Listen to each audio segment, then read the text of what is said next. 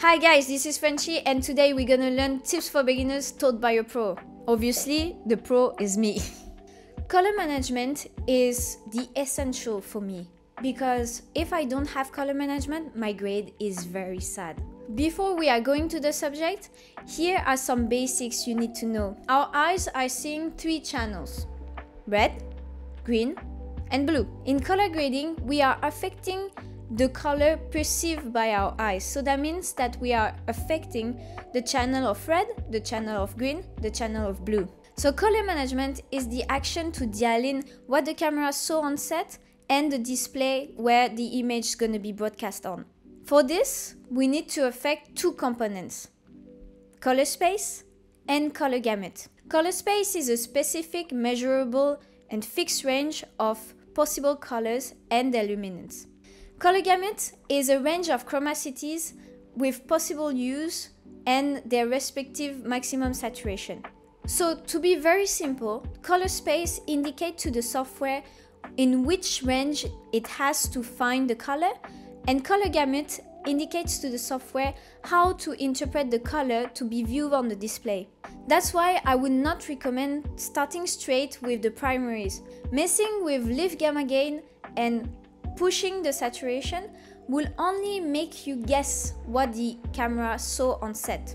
Having a proper color managed workflow permits to dial in the math and have an interpretation of the footage right. To dial in a proper color management, you will have to know the camera the project has been shot on. When I was a young colorist, I never touched a camera before, so I was completely overwhelmed by the color space and the color gamut of each camera.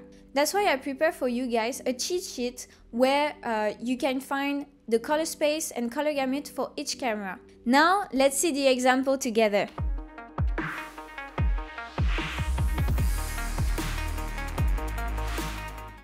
Color management is affected in two ways in DaVinci Resolve.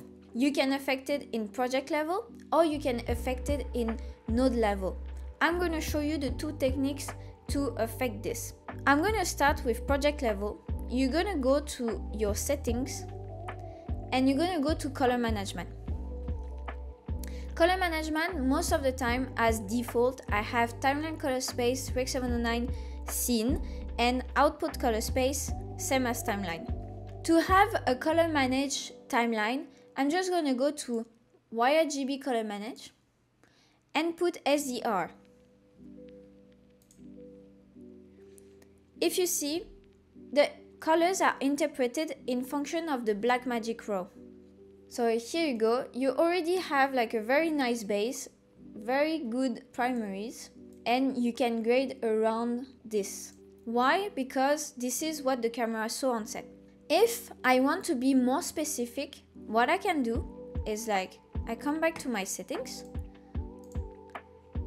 and I would disable automatic color management.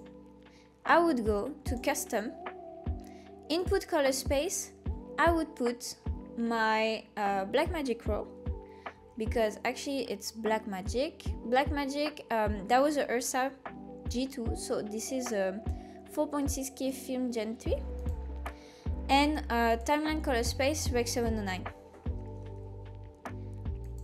I hit save. The same thing happened. So what the software is actually doing, if you see, when you ask it to uh, put everything in SDR, it's actually taking the Blackmagic Design 4.6K, putting the timeline in Rec 709 Gamma 2.4, and outputting the timeline in Rec 709 Gamma 2.4. So we can come back to our SDR, no change happened. So, this is the project level. So now I'm going to show you how to do it on a node base level. So you're going to type on your OFX color space transform, drag it, drop it. In input color space, it's going to be Blackmagic Design 4.6K Film Gen 3. Input gamma is gonna be Blackmagic Design 4.6K film.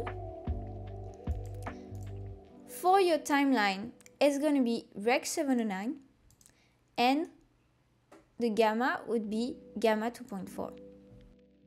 You can put DaVinci or if you want, you can put luminance mapping and saturation compression. So here you are with another interpretation of what the camera saw on set.